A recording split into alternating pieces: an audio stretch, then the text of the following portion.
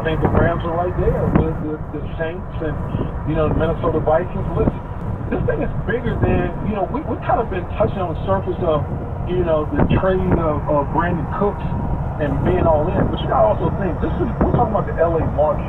And when you talk about the LA market, think of this, what the Rams are competing, competing against. They're competing against the USC Trojans, the Los Angeles Lakers, the Anaheim Angels, the Los Angeles Dodgers.